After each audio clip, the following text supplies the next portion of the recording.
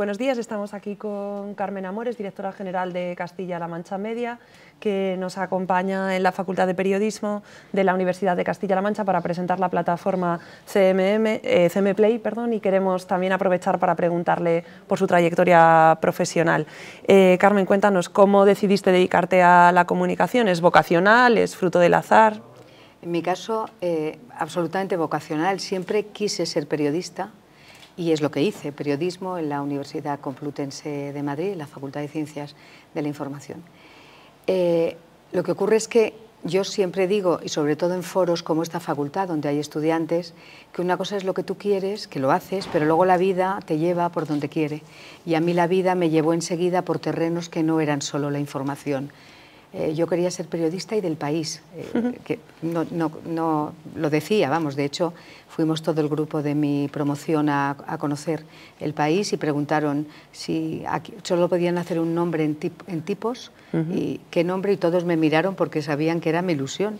La vida me llevó hacia lo audiovisual, hacia la radio en primer lugar y después hacia la televisión y realmente ahí me quedé porque es, es muy apasionante también y aunque eh, me interesa muchísimo la información, pero toda mi trayectoria ha sido más en el campo primero de contenidos, de programas eh, y después de la gestión. ¿Qué recuerdas de los mm, primeros compases como periodista? ¿Qué, qué sensaciones tenías o qué son las cosas que, más te ilusionaron en aquella etapa? Bueno, la etapa nuestra en mi facultad hubiéramos matado por tener estos medios, no teníamos nada, éramos eh, teóricos de la comunicación, que es una cosa mm, que queda muy bien, pero no, era una contradicción para entendernos. Eh, quien quería ser entonces periodista, quería ser periodista para contar y, necesitaba medios para hacerlo. ¿no? Y bueno, era una facultad con un, plan de estudios muy potente, muy brillante, pero muy teórico. Eh, en cualquier caso, era la manera de acceder al periodismo que había. Luego te encontrabas, claro, con que no habías visto nunca nada y empezabas a trabajar en ello, cosa que los estudiantes ahora lo tienen eh, ganado, ¿no? pero la ilusión es la misma y, la, y yo siempre creo que lo que hagas lo tienes que hacer con emoción y trasladarlo así, da igual que sea el seguimiento de, un juicio que una crónica política o un programa de entretenimiento. ¿Qué te llevó a, cambiar a la, televisión y a la parte de contenidos y sobre todo qué te llevó a quedarte ¿no? y no seguir en el periodismo? Bueno, como he dicho antes, la vida te lleva, no eliges tanto como parece y se iban encadenando los distintos contratos, las distintas oportunidades. Es verdad que la radio me gustó mucho y disfruté mucho en Radio Nacional, pero cuando apareció la televisión en mi vida fue otra, te fagocita, no te da tiempo. Yo compaginé el periodismo escrito durante todo el tiempo que estuve en radio y colaboré en El País mucho tiempo y también en, en revistas, en periódicos.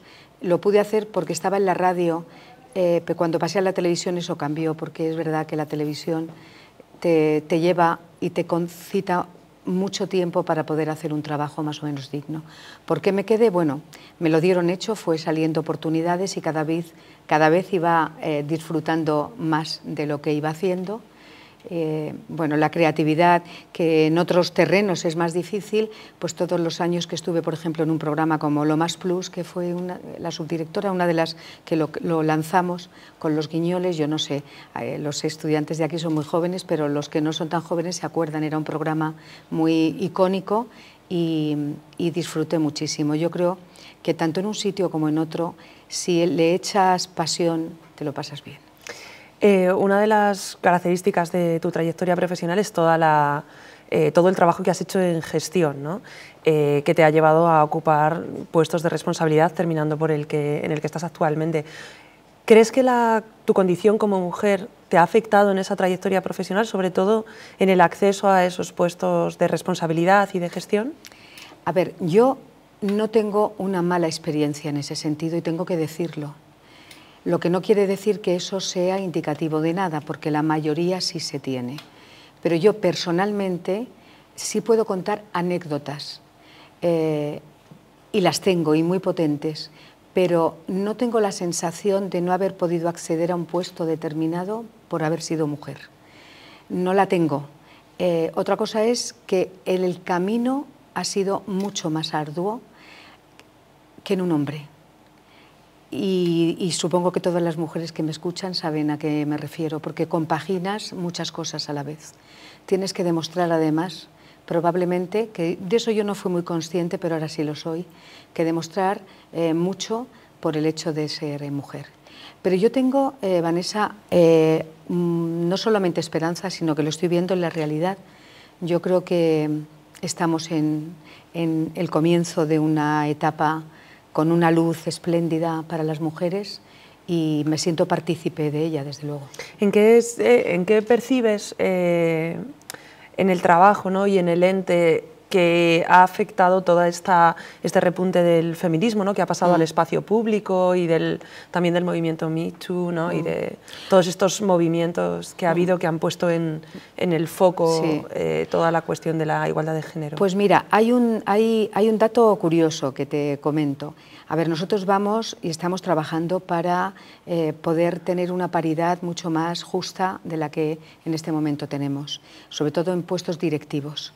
Eh, pero curiosamente uno de los datos que he estado hace poco eh, para un artículo ojeando, la, por ejemplo, en salarios de, media, de la media para arriba hay más mujeres que hombres.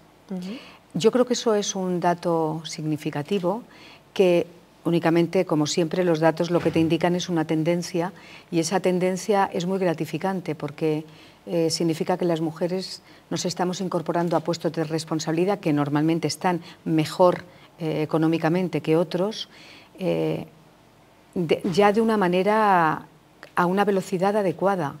Mm, que, tengamos que conseguir la paridad absoluta es algo en lo que yo personalmente quiero trabajar y, que lo conseguiremos. Pero bueno, me gusta recordar que esto es la historia de la humanidad. En fin, no es difícil conseguir eh, tanto como estamos consiguiendo en tan poco tiempo. En ese proceso ¿no? de ruptura de lo que se llama el techo de cristal, eh, creo que una de las cuestiones centrales es el tema de la conciliación, que ahí creo que bueno, dentro de lo que, los límites que tenemos sí que podemos considerar que ha habido avances, pero hay un aspecto que quizá es menos llamativo, del que se habla menos, que es la dificultad que tenemos eh, las mujeres para poder asumir la representación en el espacio público, para tomar la palabra, ¿no? por este miedo mm. a, bueno, pues a ser cuestionadas, mm. incluso por lo que decimos o por nuestro aspecto, ¿no? Mm. que las reacciones sean más virulentas y que hace que, por ejemplo, nos cueste... Eh, asumir los puestos de portavocía, por ejemplo. ¿Tú esto lo percibes? En... Yo no solamente no lo percibo, sino si creo que lo creo como tú, que ha ocurrido, ahora está contrarrestado. Yo creo que ahora es tan potente lo contrario que es como cuando, frivolizando un poco, no dices que algo está en tendencia, ¿no? Pues yo creo que ahora el feminismo está en tendencia, sin frivolizar, ¿eh? pero creo que eso ayuda a muchas cosas. Y no, no solamente no te parece extraño, eh, mira, en lo público, en Castilla-La Mancha, la responsable de la radiotelevisión española en Castilla-La Mancha es una mujer. La responsable en el ente público, que soy yo, es una mujer. La responsable en la agencia EFE es una mujer. Estoy hablando de tres medios potentes, públicos en la región. Yo creo, Vanessa, que eso indica una buena tendencia. Con respecto a, esta tendencia, ¿crees que ha habido cambios en los estilos de liderazgo que tienen que ver con las culturas femeninas? O, tú has visto o no ves mucha diferencia entre tu estilo, por ejemplo, de liderazgo personal y el que han tenido tus predecesores? No, sí veo diferencia. Pero, en fin, yo tengo dudas si es por ser mujer o por propio carácter. Yo sí creo que eh, la mirada femenina es distinta. Yo creo que quizá como huella del ADN, aunque solamente sea por eso, tenemos una, manera y una actitud eh, más eh, proclive al pacto, a la conversación, a la comunicación, a, mm, en fin, a, tratar, digamos, los temas sin, sin un argumento poderoso por encima de los demás y, quizá esa amalgama está dando resultados bastante buenos en, eh, puestos de liderazgo empresarial, por ejemplo, o de todo tipo, ¿no? incluso, en incluso en política, para entendernos, eh, me parece que, esa mirada es distinta. No tengo más datos, no sé si hasta qué punto o en qué porcentaje, pero en general yo creo que sí. Y todo este movimiento, ¿no? esta emergencia del movimiento feminista, ¿Tú crees que se deja sentir también en los temas de agenda, en la perspectiva que adoptan los programas ¿no? de contenido, por ejemplo, en el entretenimiento y demás? ¿Lo has, ¿Lo has percibido? ¿Crees que...? Yo creo que contamina todo, pero todo es todo. Por lo que decía antes, insisto, sin querer frivolizar, es un poco una tendencia. Y quizá todos los sectores eh, responden a las tendencias, pero en comunicación, y la televisión es un medio claramente que acoge y es un crisol de lo que pasa lo que está pasando en la calle. Y eso lo tiene que se percibe también en, los programas, en el tratamiento de los temas, en el lenguaje. No hemos hablado de redes sociales, pero las redes sociales que tienen ese poder tan brutal por la instantaneidad y por la naturalidad y por la universalidad, pues yo creo que las redes sociales están también eh, ayudando a esto, ¿no? porque eh, hay temas que antes podían escaparse al control, digamos, ahora bueno, pues hay que tener cuidado con no, atentar contra, contra algunos temas que están en la calle y que, y que estamos pidiendo que se entiendan. ¿no?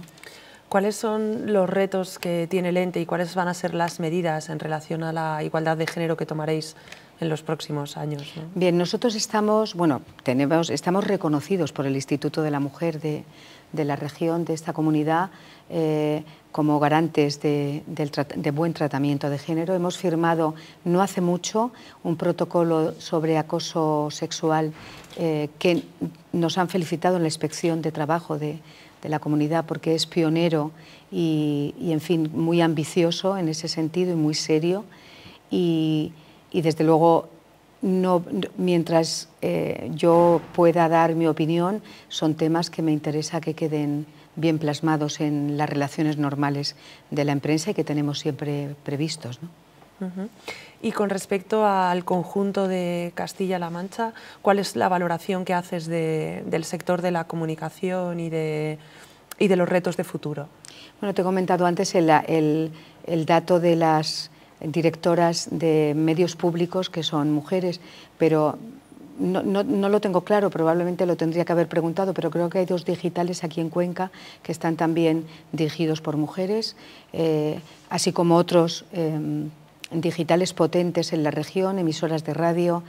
A ver, yo creo que Castilla-La Mancha no es diferente a lo que está ocurriendo en el resto del Estado y, me consta además que hay eh, una en fin, una necesidad de que, de que sea así, de que no vayamos por detrás de cualquier otra, de manera que me parece que dentro de la comunicación estamos como en cualquier otro sitio y eso en este caso es bueno. Y con respecto a, otras dimensiones, ¿no? como, tiene, como es la cuestión de la, de la precariedad ¿no? y de la de las dificultades económicas que casi son endémicas en esta mm. región y que afectan especialmente al, sector periodístico y también de la comunicación por la falta de mm. productoras y demás. ¿Cómo crees eh, que son las posibilidades de desarrollo del sector en la, en la región? Pues yo estoy muy contenta, Vanessa, porque hemos conseguido eh, crear una asociación. El otro día eh, emitieron un comunicado en el que agradecían esa posibilidad de pequeñas productoras que no existían antes o al menos no estaban eh, en relación ni tenían una actividad común, que agradeciendo la oportunidad de poder trabajar para la plataforma para CMM Play, que en el fondo es cerrar el círculo de conseguir, eh, que luego lo explicaremos, poner en marcha la primera plataforma de servicio público en Internet que existe en España y al mismo tiempo garantizar, aunque son en todo caso, siendo Internet, programas muy low cost, pero garantizar eh, trabajo para las productoras que viven en la región y el talento que está aquí no se tiene que ir fuera. Y yo creo que en eso eh, el futuro es muy esperanzador. ¿Y tú crees que tendremos capacidad ¿no? en, los próximos años de incorporar a la ciudadanía como voz activa en los medios públicos? Sí, yo creo que la tendencia, de hecho, eh, parte de las, de las eh, oportunidades que da esta plataforma es que haya un feedback con la ciudadanía, ¿no? que puedan, se puedan subir vídeos que los eh, ciudadanos nos pueden mandar. Ese contacto directo, eso ya es posible. Y, yo creo que toda la irrupción de Internet y de las redes eh, no se entiende ya que tú puedas hacer un programa o un producto con, una dirección nada más. No se entiende, ya no, es, ya no se hace. La televisión convencional sabe que no está programando, está intentando conectar con un público, con un espectador que de alguna manera va a intervenir en su programa, le va a contestar, va a opinar. Es decir, eso ya está ocurriendo. De manera que eso no tiene vuelta atrás y así vamos a seguir. Imagino que el, hecho de haber sido la primera mujer que dirige el ente público fue un hito en tu vida personal. Mm. ¿Crees que también es un hito en el, desarrollo del periodismo y de la comunicación en, la región? Bueno, yo creo que es una buena noticia si hablamos de género, por lo que supone el acceso a puestos de responsabilidad. Lo que es buena noticia es cuando deje de ser noticia, ¿no? cuando no, no se destaque yo. He comentado en alguna ocasión, y además las tengo guardadas, que tengo muchas fotos en las que soy la única mujer rodeada de hombres en distintos ámbitos, foros, círculos, premios, etc. Eh, cuando eso se revierta, dejará de ser noticia. Eh, es lo que tenemos que intentar. Recuerdo que una de las luchas en los últimos años fue en la relación con el gobierno anterior por la defensa de, los medios públicos.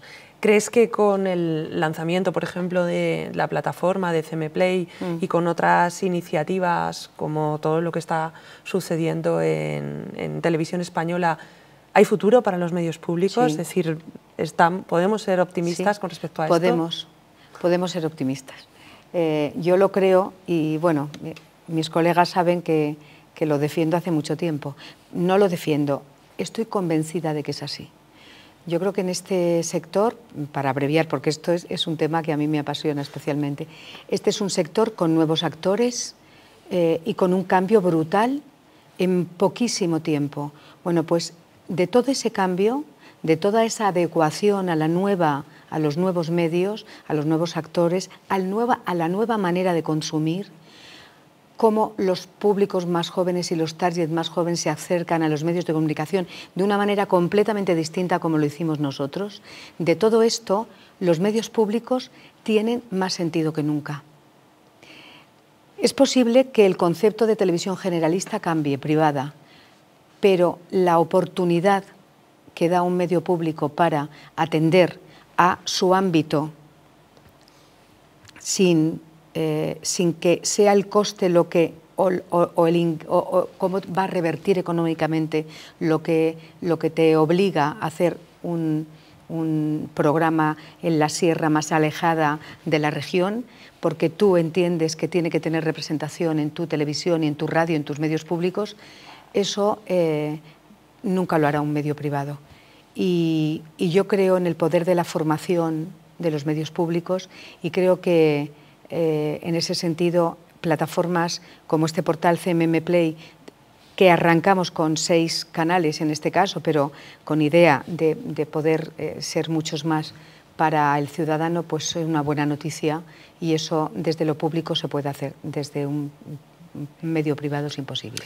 Y para acabar, quizá una pregunta un poco más compleja es, en ese proceso, ¿crees que nos libraremos del lastre del control político, ¿no? de la intención, un poco de esta cultura que ha habido siempre por parte de, los políticos y de los partidos principalmente, ¿no? de, intentar controlar y de eh, usar en su propio beneficio los medios públicos? Sí, yo creo que los medios, vamos a ver, si la historia te indica algo y te cuenta algo, incluida esta región, es que la utilización de un medio público realmente no sale bien. ¿Por qué? Porque es un medio para todos. Yo creo que intentar pensar que el ciudadano o el espectador no se da cuenta, es un ejercicio de soberbia. El, ciudadano se da cuenta y quiere creer en su, en su medio público porque sabe que es de todos y para todos. Y eso es lo que en principio le tiene que interesar no solamente a los ciudadanos, sino también al gobierno de cada una de las comunidades. Pues muchísimas gracias por dedicarnos este, este espacio. A vosotros. Gracias.